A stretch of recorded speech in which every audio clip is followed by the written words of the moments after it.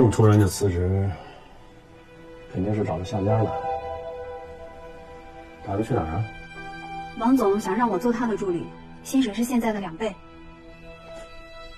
我同意了。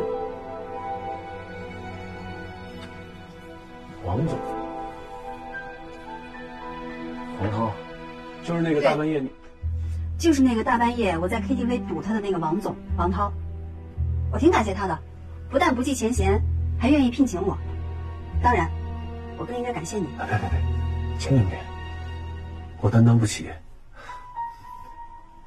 那麻烦我问一下，那十万块钱啊，在我最困难的时候，你不但关照我，还送了我爸一笔医疗费。对对对对对对，送？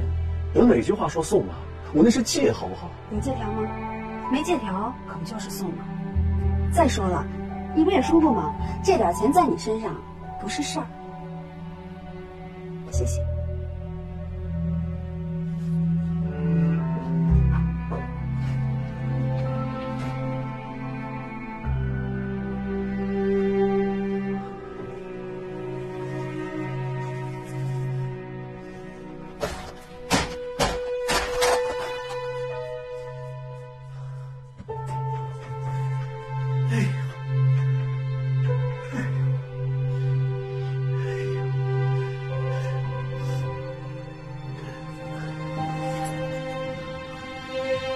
老大，咱们再点点别的，也不能光吃鸡心啊。就吃这个，全吃了，吃哪儿补哪，我缺心眼儿的。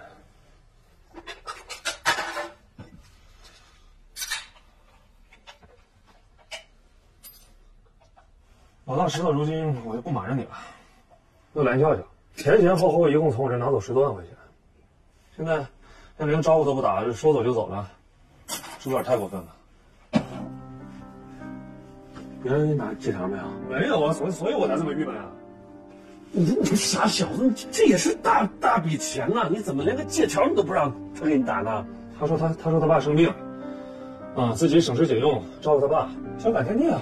况且况且我去医院看过，他爸确实是在住院，我合计帮助帮助他。是这钱是我自愿给他的，啊，没没让他打借条，也不能说他是骗，自认倒霉。